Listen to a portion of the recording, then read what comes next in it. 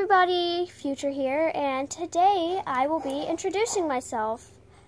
So, as you all know, I uh, am Future. Uh, I'm a female deer. Uh, I'm 14, and I'm on a talk show where I interview people, such as like famous YouTubers and stuff. This is the Wall of Smile. Um, whenever someone is frowning and they're on my show, I make them go up to it and touch it until they smile.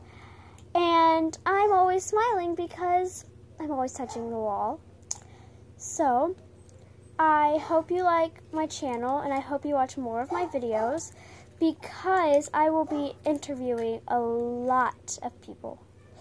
This is just one series.